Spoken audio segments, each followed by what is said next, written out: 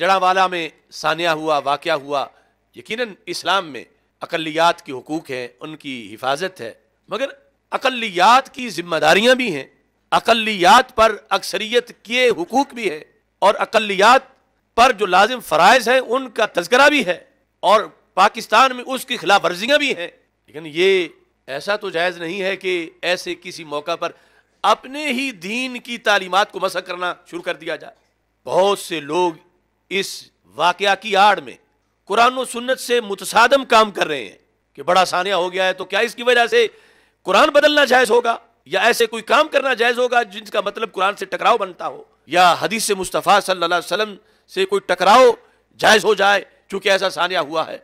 ऐसे जितने भी वाकयात होते हैं, पीछे साजिशें होती हैं और इदारों का काम है कि उन साजिशों को बेनकाब करें।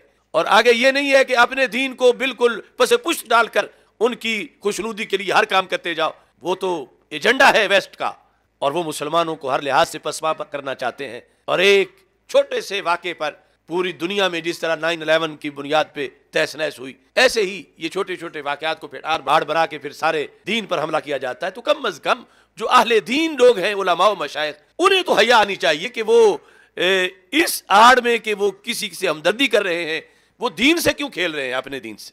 अपने दीन से हदूद पूछें और जानते हुए भी फिर भी वो खिलाफ वर्जियाँ कर रहे हैं तो कम अज कम उन्हें आखिरत के बारे में सोचना चाहिए।